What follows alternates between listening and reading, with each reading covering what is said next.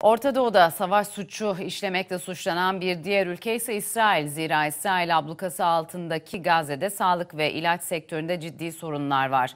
Filistin Sağlık Bakanlığı yalnızca Gazze'nin tıbbi ilaç ve malzeme ihtiyaçları için ayda 3 milyon dolarlık bir bütçeyi gözden çıkarmak zorunda ancak mevcut bütçe açığı ve Gazze'ye uygulanan ambargo nedeniyle bu pek mümkün olamıyor. Dış yardımlarla ayakta duran Filistin bütçesinde sadece Sağlık Bakanlığı'nın birikmiş bütçe açığı 250 milyon dolara buluyor. Gerekli ilaç ve malzemelerin neredeyse üçte biri stoklarda yok. Dünya Sağlık Örgütü'nün Gazze temsilcisi Mahmut Daher'e göre göz ardı edilen bazı hastalıklarda ilaç sıkıntısı daha çok hissediliyor. Gazze'de tıbbi ilaç ve malzeme sıkıntısı artık rutin bir sorun. Savaş esnasında ve sonrasında Sağlık Bakanlığı stoklarına özellikle savaşla ilgili vakalara yönelik pek çok ilaç bağışlandı. Ancak kanser veya kalp hastası gibi kronik hastalıkların mağdurları ilaç eksikliğini daha çok hissediyor. Özellikle bu hasta grubu içinde giderek daha çok hasta Gazze dışına çıkmak zorunda kalıyor. during and after the war there were Nitekim Gazze'nin en büyük hastanesi olan Şifa'nın direktörü de bunu doğruluyor. Kanser hastaları için kullanılan ilaçların %35 ila %40'ı bizde mevcut değil. Hepsinden önemlisi zaten kemoterapi gibi bir imkanımız hiç yok.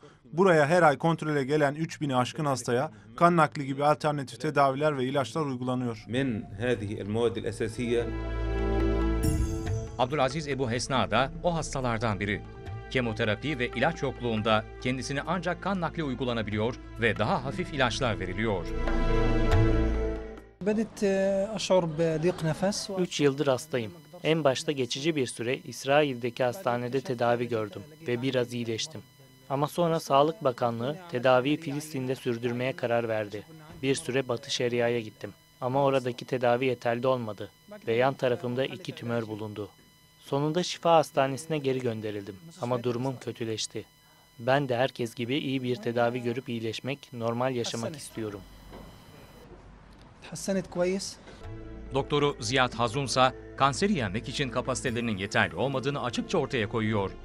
Hastalarının gerekli kemoterapi ve ilaçlar olmadan her daim hayati risk altında yaşadığını belirtiyor.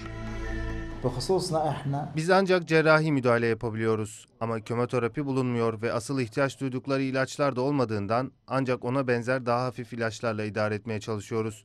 Ama her ay yaklaşık 70'e yakın kanser teşhisi konuyor. Çoğu gerekli ilaç ve tedaviyi alamadıkları için her ay 11 ila 13 kanser hastasını kaybediyoruz. Açık hava hapishanesine dönen Gazze'de kanser hastaları adeta sırasını bekleyen idam mahkumlarını andırıyor. Diğer pek çoğu gibi Hammude ailesinin de tedavi olabilmek için ne imkanı var ne de Gazze dışına çıkma şansı. Eşim 3 yıldır kanser ve tedavi göremiyor. Çünkü gerekli ilaçların çoğu burada bulunmuyor. Zaman zaman bazı ilaçları bulup getirmeye çalışsak da biliyorsunuz gücümüz buna yetmez. Bu ilaçlar çok pahalı. Bizim de paramız yok. Burada ne verirlerse onu kullanıyoruz. Bize ellerinde ne varsa vermeye çalışıyorlar ama asıl gerekli olan ihtiyaçları sorduğumuzda 500 dolar gibi bir maliyeti kim nereden bulacak o kadar parayı? Bu çok maliyetli bir hastalık. Allah hepimizin yardımcısı olsun.